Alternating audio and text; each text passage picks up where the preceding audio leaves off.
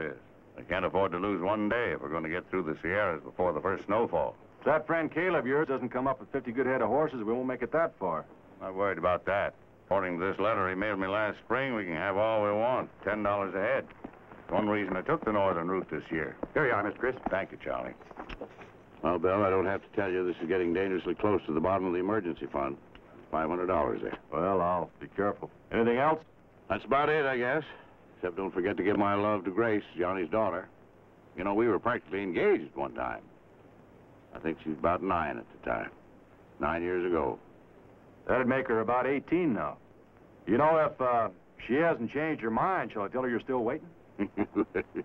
all I'm waiting for is horses, all 50 of them. Well, see you later.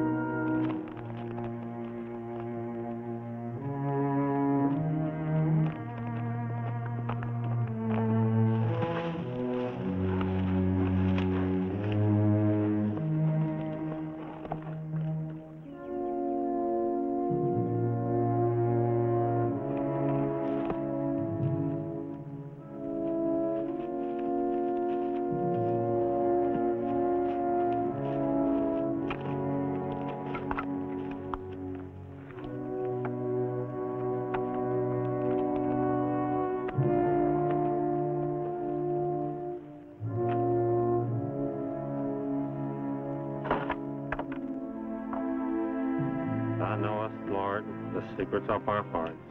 Shall not thy merciful ears to our prayer, but spare us. Lord most holy, O God most mighty, suffer us not at our last hour, or any pains of death, to fall from thee.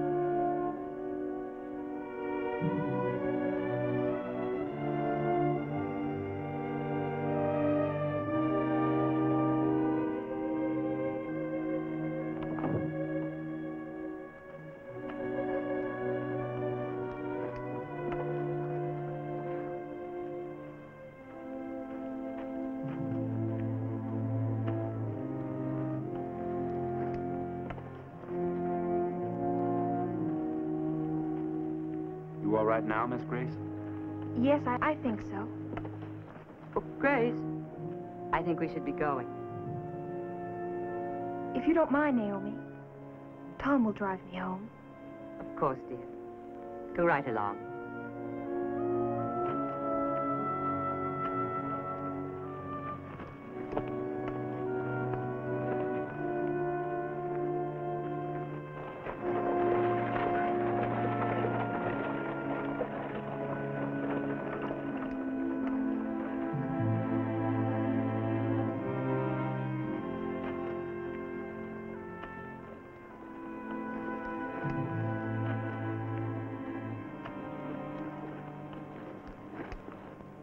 I'm John Kaylor's daughter.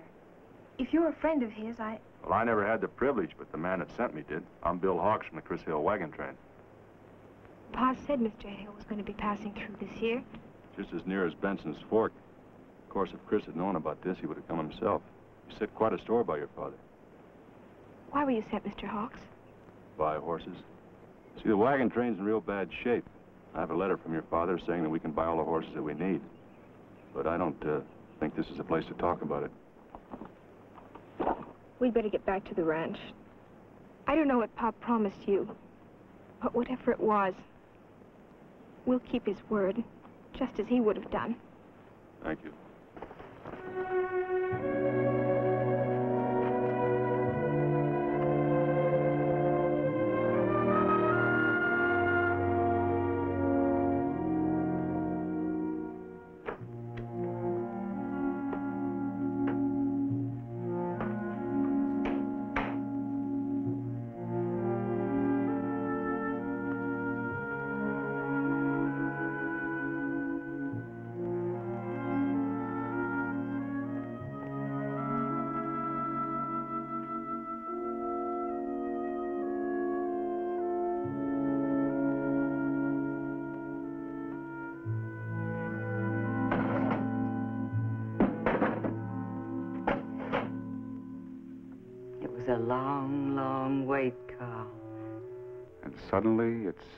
Day.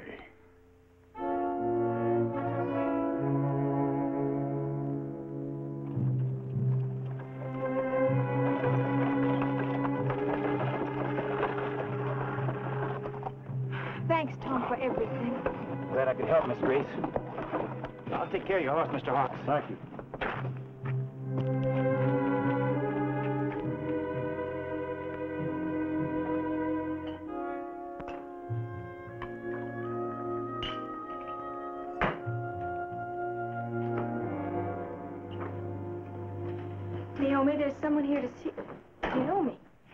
Just pouring Mr. Blucher a drink. Oh, well, uh, thank you, ma'am. Uh, I needed that. What happened to Pa's picture? Oh, well, I... Uh, it's hard to explain, but I, I hope you understand. I mean, it's been such an ordeal for all of us, and realizing that just a moment ago we left him out there, uh, well, I... I thought I'd put it away for a day or two. Well, I'm, I'm sorry. This, this is Mr. Hawks, a friend of Chris Hale. Mr. Hawks, my stepmother. How do you do, Mr. Hawks? My pleasure, ma'am. And this is my foreman, Carl Blucher. Mm-hmm. I hate to intrude at a time like this, Mrs. Kaylor, but can't be helped. Mr. Hawks has a letter from Pa. I mean, it was written last spring. If it's a job you want, we already have extra hands. I've got a job, buying horses for the wagon train. Your husband made a deal with Chris Hale to sell us all the horses we might need. Well, I'm sorry. I, I have no mind for these matters. I'm simply helpless where business isn't concerned, and I have to rely entirely on Carl's judgment. If you'll excuse me, please. Surely. Uh, that letter, uh, let me take a look at it.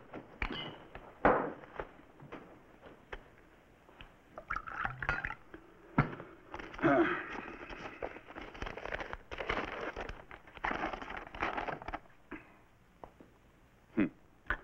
No, no, I can't go along with this. Don't you have 50 horses? Not at $10 a head, I don't. Gotta get twice that or don't pay to round them up. John Kaylor thought the price was fair.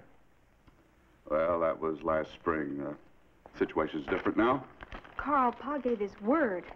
Your father was an old man. He was sick when he wrote this letter. No, at this price, uh, Mr. Hawks is going to have to get his horses somewhere else. You know that there isn't a horse ranch within a 100 miles of here. It's not fair, Carl.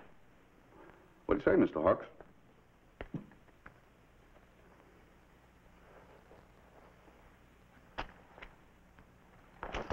Five hundred in gold. You get the rest of them and you deliver the horses to Benson's Fort. I'll be glad to oblige. Take two or three days to round them up. There's accommodations in the bunkhouse. Oh, thanks for that. At least you tried, Grace.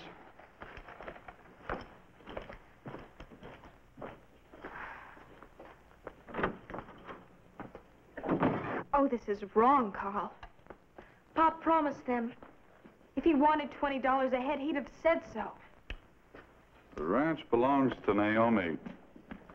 She's the boss now. And she expects me to run it at a profit.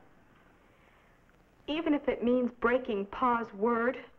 Even anything you like.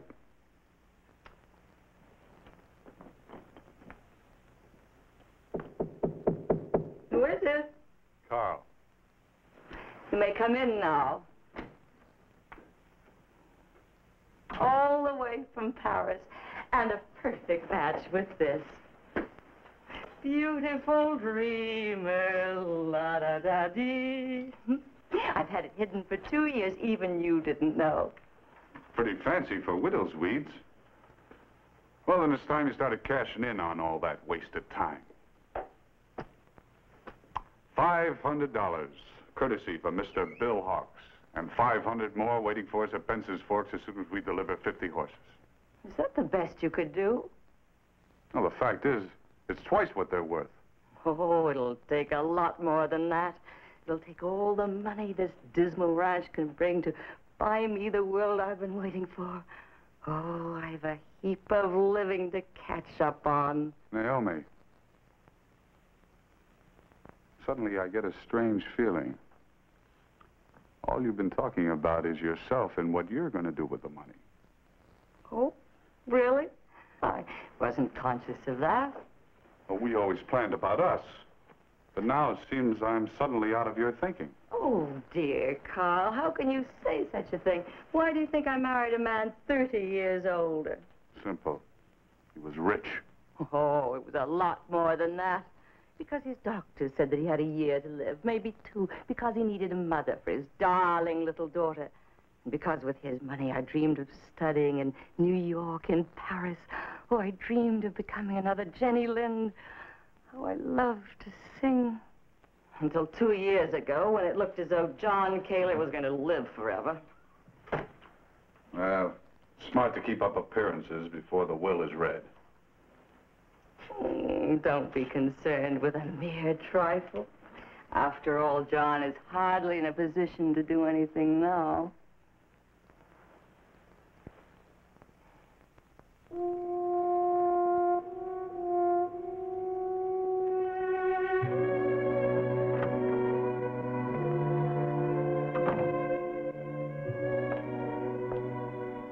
Evening, Miss Grace. Oh, Tom. I didn't see you there in the shadows. Oh, I've been standing here for more than an hour. I was kind of hoping you'd come out. I wanted to tell you that I liked your pa an awful lot. He was always good to me. More like a father than a boss. I'm going to miss him, too. Thanks, Tom. He would have liked to hear that. I'm sorry if I upset you. If you'd rather be alone. Oh, no, please don't go. I... If you'd like to stay a spell, I... Well, I once heard a man say that feeling lonely was just another way of going hungry. But it's different for you over there in the bunkhouse. You have all the other hands to talk to. It don't always work out like that. We don't have much to talk about, so you might as well be all by yourself. Gosh, I don't reckon I, I've said this much to anyone the whole ten months I worked here. I'm not much for talking. And here all along, I thought it was my fault. I mean... Oh, Tom, I don't know what to say. Well, now, I might as well confess, Miss Grace, I've been wanting to talk to you lots of times. You have? Uh, well, I guess I shouldn't have said that. I, I'm not much good at hiding my feelings. Well, why should you, Tom?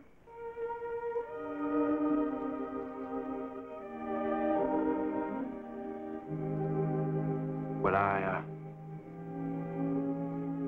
I've still got a couple of chores to do before supper.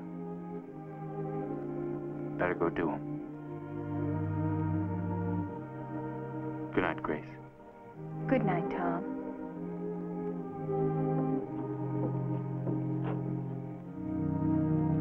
So I explained to John What's the use of money if not to buy the better things of life? Take this lovely pastry server, for instance. Oh, I can't tell you how long it took me to persuade John to send directly to London for the entire service. It's a work of art, isn't it, Mr. Hawks? Well, I'm not much of a judge of silver, Mrs. Kaylor. We don't set a fancy table like this on a wagon train. Neither do we, usually. Quite right, Carl. Just on special occasions. Naomi, how can you say such a thing? It's a question of hospitality, Grace. I was referring to the presence of Mr. Hawks. After all, he is our guest. I'm sorry that I couldn't have come here on happier circumstances. So do we, but life must go on. There's no use brooding about the past. Well, the way I look at it, John had no complaints. He got more out of life than most men do. What kind of people are you? Here my father was only just buried this morning, and you act as if nothing happened at all. As, as if this were a, a party or, or a church social. Oh, you're putting the wrong interpretation on it, Grace. He was your father, but after all, he was my husband for nine years. But all this so soon. Perhaps I knew your father better than you did. He wouldn't want me to be wearing black or living black just because he passed away. I just know you couldn't have loved him like I did. Oh, my poor dear. What do you know about love, child? How can you possibly know what is said between husband and wife in their private moments? But one thing you do know. He loved me enough to will me this ranch, but he thought of you, too, with a dowry of $20,000, or you'll have no trouble catching a man. I don't need to be told I'm not pretty. Maybe I will have to buy a man. But if my husband died, I wouldn't flounce around in such a fancy dress. That's enough. John Kaylor's dead, and I'm alive, and I intend to live. Oh, well, now she's upset me. Oh, I'm so ashamed for our guest. My apologies, Mr. Hawks. She's so young. Oh, do pay no mind. It's just a little family misunderstanding. It's all right, Mrs. Kaler. But I'm not a guest. I'm here on business. And if you don't mind, I could use a little fresh air.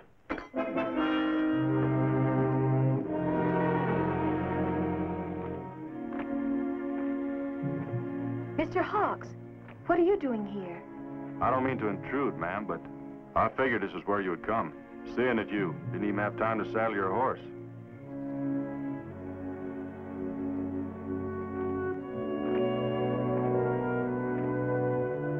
Looks like your father was kind of a sanctuary to you. Seems like he still is. How could you know? You're just a stranger. Maybe. You know, a lot of people on a wagon train don't know one another. But you'd never know they were strangers when someone needs help. Pa was a large man, Mr. Hawks. He was taller than you. When I was a little girl, after Ma died, he would take me walking in the woods. He used to hold my hand, and when I'd look up at him, he, he was as high as a mountain. And he used to show me the, the wild berries and explain how they blossomed. And then one day, we saw a newborn chipmunk. He could hardly walk, and, and Pa picked him up and let me hold him. Goodness, how I talk. It's good medicine for you, young lady. You know, you hold on to those memories, you'll come out all right. Now, I got a hunch that your pa just heard everything you said. Somehow, some way, he'll take care of you.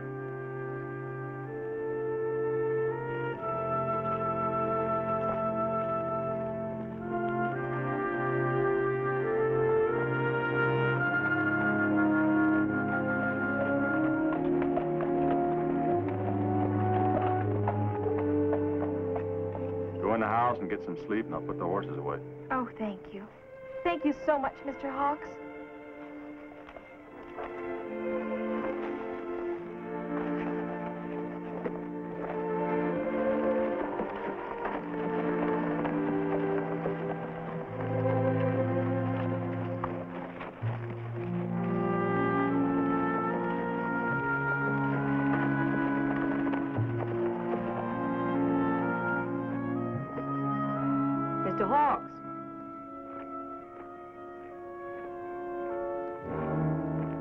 I seem to have underestimated my stepdaughter's charm.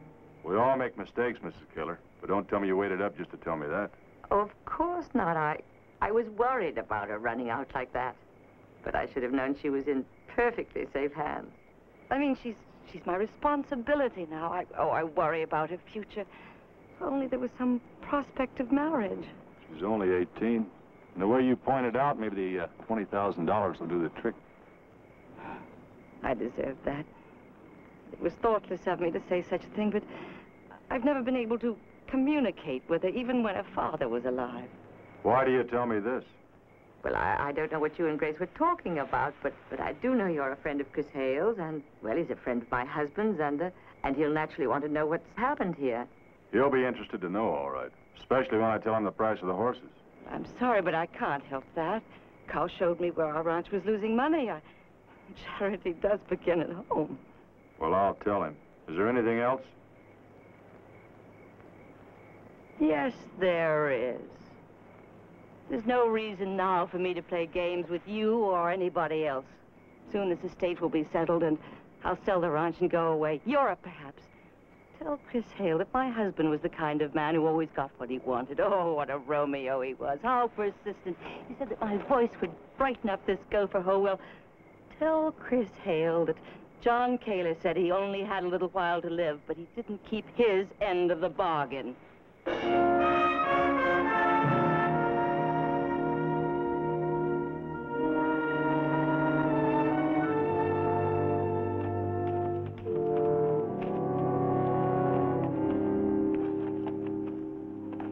yeah, he'll do, Tom.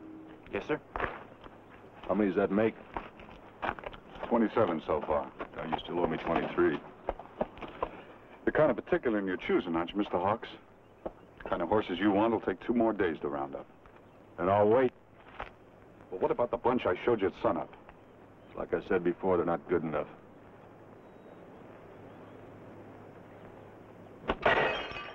That's Carl's way of relieving his tensions. And he's always sure that he doesn't run out of whiskey bottles. At $20 a head, I'll do my own picking. You set the price, but I'll set the standard.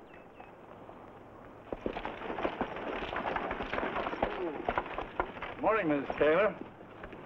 Carl? Why, Mr. Drewton, he didn't expect to see you so soon. Well, ordinarily I wouldn't have come so soon after the funeral, but circumstances have a way of altering our plans. Mm, they do indeed. Uh, Mr. Hawks, may I present Mr. Charles Drewton, the family lawyer? How are you? How do you do, sir? Uh, would you like to go in the house? Oh, no, thanks. I won't stay long. I have an aversion to driving over the pass after sundown. I, uh, I thought you and Grace should have copies of John's will at the earliest opportunity. Yeah, that's very considerate of you. I'll see that Grace gets her copy. Uh, but need you have gone to all this trouble? We're all familiar with the terms. I'm afraid you were wrong about that, Mrs. Kaylor. You see, John asked me to make certain revisions in the original draft about two months ago. But he never said anything about it to you. Well, it probably wasn't very important. A few minor changes won't make any difference. Well, it's not that simple, Mrs. Kaylor. The revisions are rather extensive. What are you trying to say, Mr. Drewton? In the original version written three months after your marriage, Grace was to receive a dowry of $20,000. That bequest no longer applies. Instead, she will receive the bulk of the entire estate. Why, I never heard anything so vile. I, I don't believe it. Well, nevertheless, it's right there in black and white. As executor, I'm to hold it in trust for her. But John promised. All these years, he promised me that the ranch would be mine.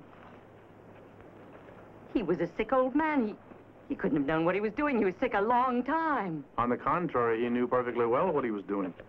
I have affidavits from two doctors to substantiate it.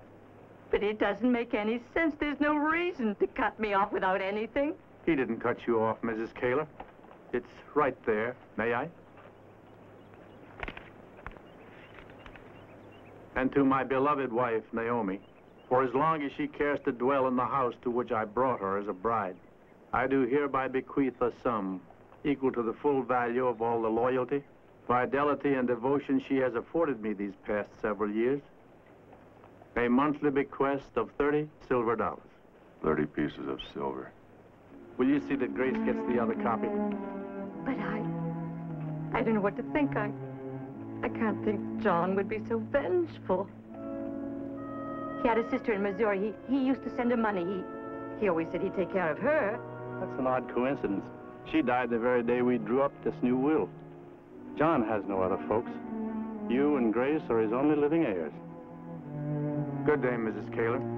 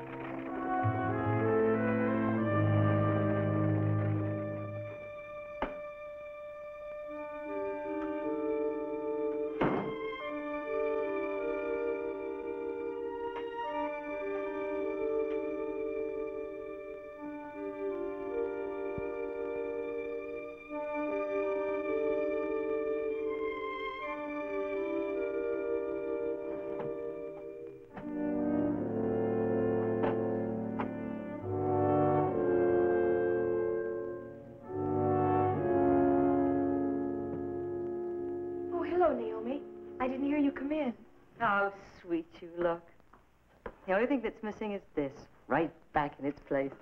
Oh, thank you so much. I've missed it terribly. I know you have. I was wrong to put it away, and I was wrong to say those things at supper. Forgive me, just a little. But that's all in the past. All the sadness, all the weeping. Hmm, We've only the future, and we must make plans.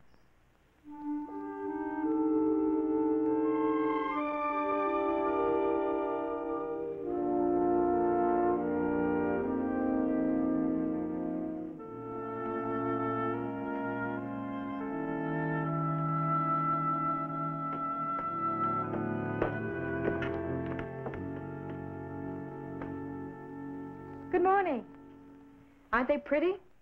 I was just about to take them to the cemetery. The other ones must all be wilted by now.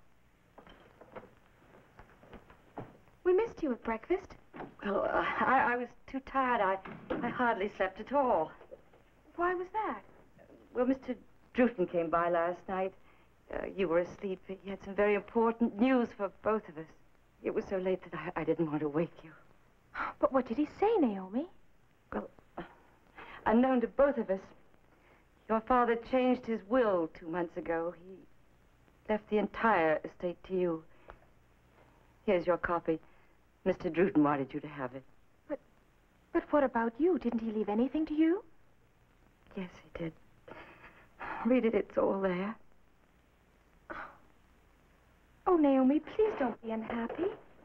As to the other, the estate, that will always belong to you as much as it will to me. Remember, no more sadness and no more weeping. You said that. I'll read that when I get back.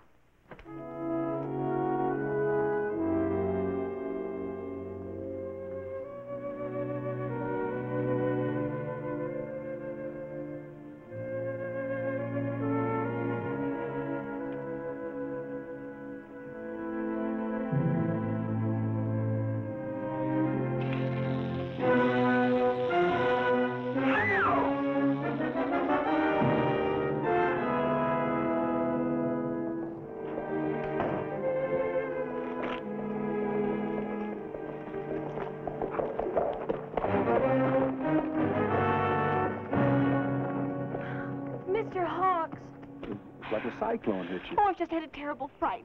I took some fresh flowers to Pa's grave, and, and the pitcher of the old flowers were in fell over, and, and You know, wait a minute. Take it easy. the pitcher fell over, and a rattler came out of it.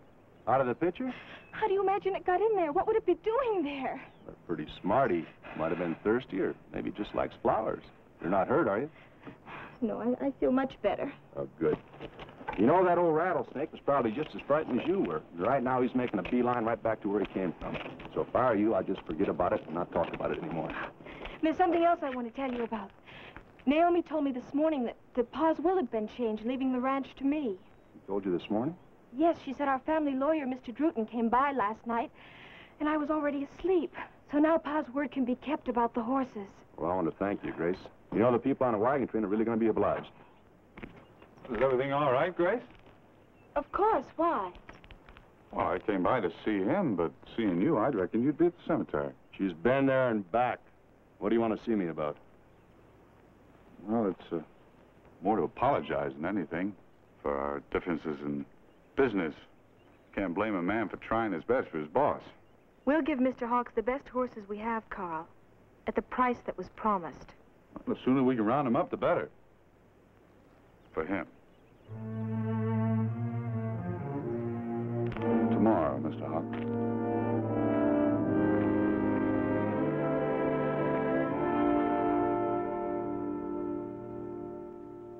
The ninth one he's turned down. At this rate, he'll be here forever. I can't help it. You think he was buying racehorses?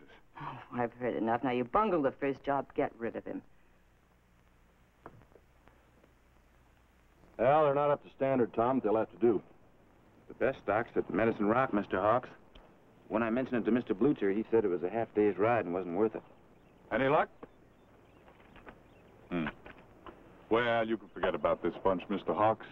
There are a lot better ones up at Medicine Rock. We'll shove off at sunup, Tom. Then you can fill your quota and get going. Like you want to. Mighty friendly of you.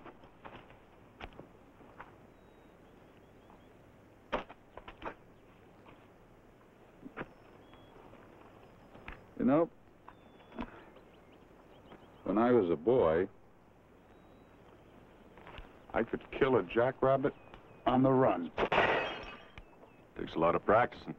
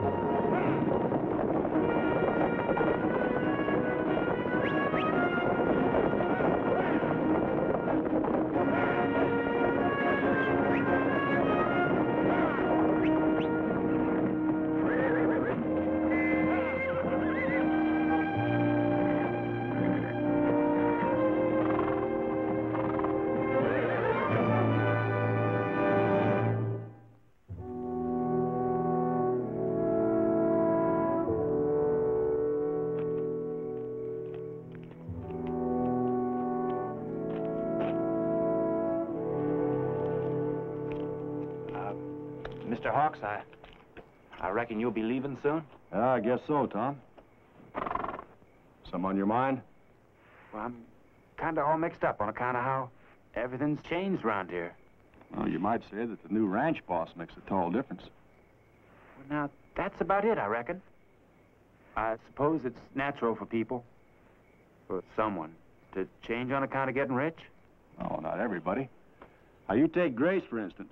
Not that we're talking about her, but you take her. She'll never change. Well, now, thank you, Mr. Hawks. Thank you.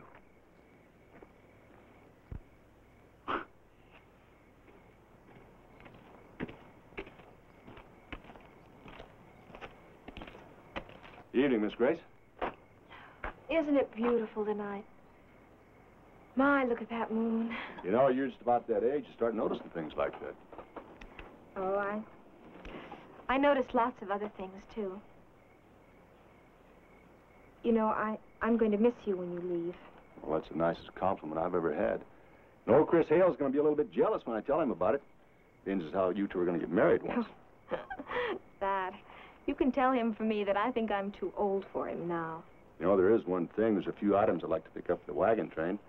There's a trading post nearby. I'd like to do it tonight.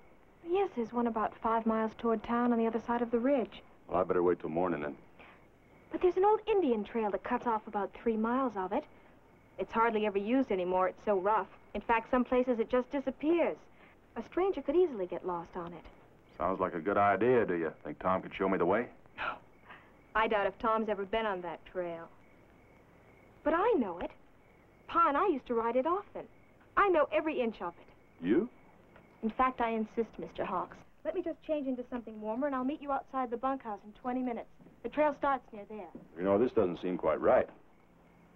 I'm a stubborn woman, Mr. Hawks. Besides, you're my guest now. It's the least I can do.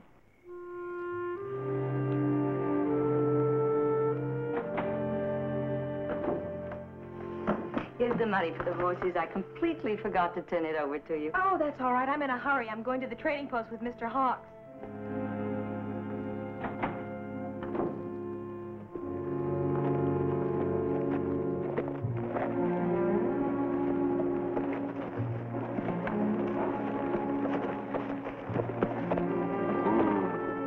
You sure didn't exaggerate. You think this is something? There's a sharp bend about 300 yards ahead that would scare a mountain goat. Well, it's pretty country. Don't worry. After the bend, it's pretty easy going. You got me in your hands, ma'am. Lead on.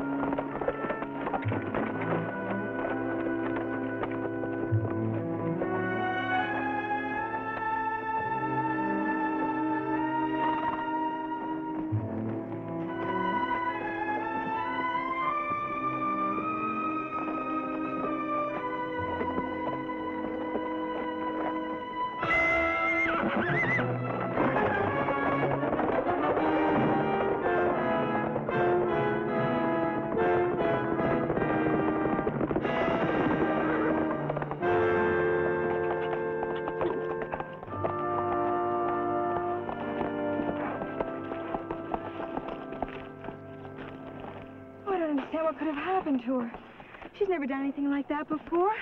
I've been riding her for two years. Pa picked her out himself. Well, it could have been a ground squirrel, a snake, or anything. It was as though something struck her. Well, she couldn't have gone too far. Let's go.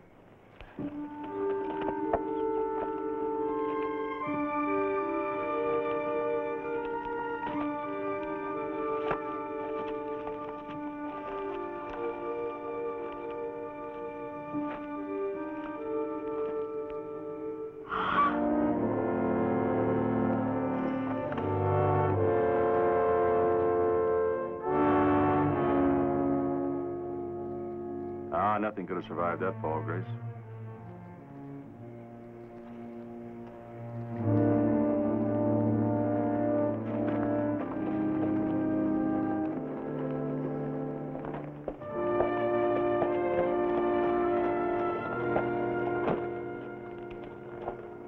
What are you doing here? Well, I didn't expect to see you, Mr. I asked you a question. What are you doing here? Well, this harness needed fixing. This harness needed fixing. Get back to your bunkhouse.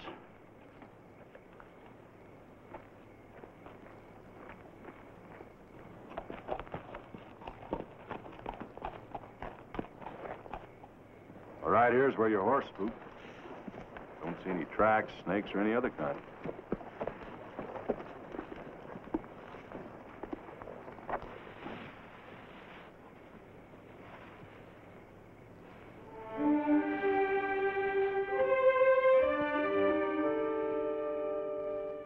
No sense in wasting any more time, Grace.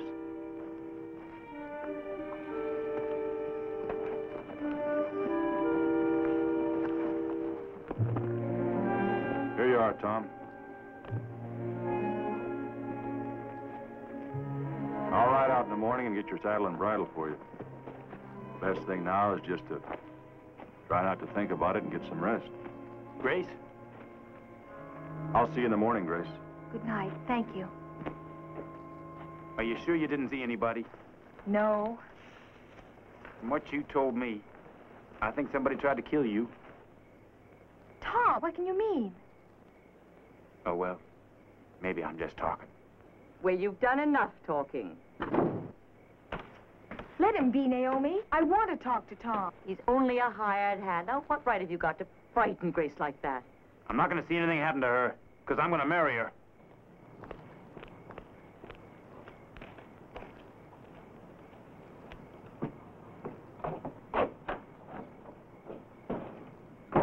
He's a fool.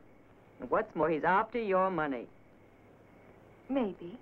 Grace, I, I've been wanting to talk to you, but not here. I, I, I've been wanting to talk to you alone, away from everybody, where, where nobody can hear us. I heard you talking as you and Mr. Hawks rode into the yard. Well, that's what I wanted to talk to you about, but, uh, but not out here.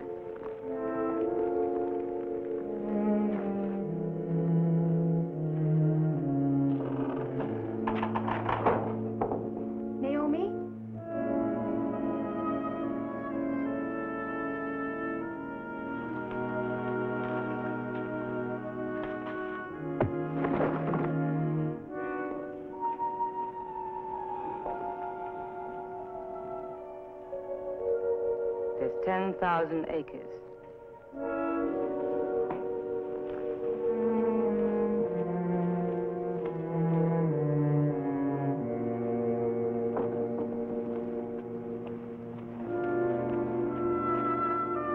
I thought it was Grace.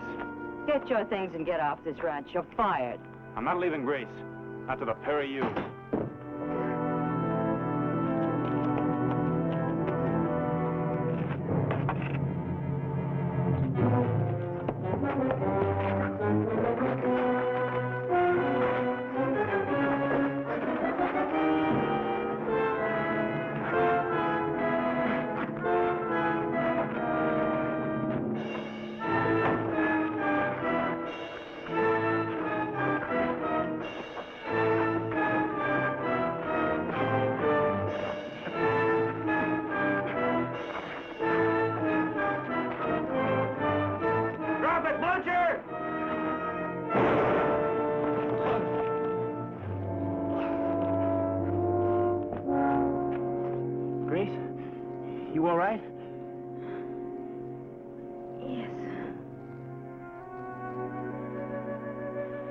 Did you do it, Carl? Why? Why? It won't work, Naomi. You can't fool him. Nothing more than we fooled the old man.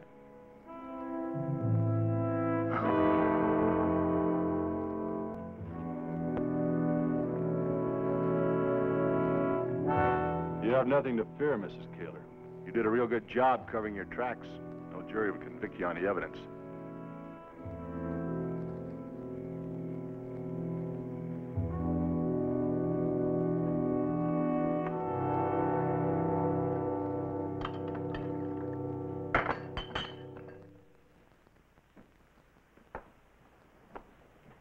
Naomi. Finish it. You may need it. I've seen Mr. Druten. He's drawing up new papers regarding the estate. You've convinced me how desperately you want the ranch. Well, you're going to have it. I'm giving it to you. As for me, I'm taking the dowry, and Tom and I are joining the wagon train to California. Mr. Druten said I can't legally turn over the property to you until I'm of age. You've waited this long, I'm sure you won't mind waiting three more years. There's only one condition. You have to stay here and live here. If you try to sell one piece of the property or step one foot over the property line, it will all revert back to me.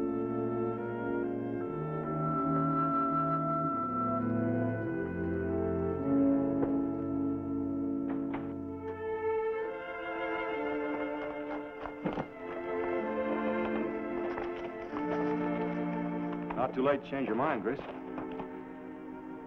You know, it's a good thing that we got a working preacher on that wagon train.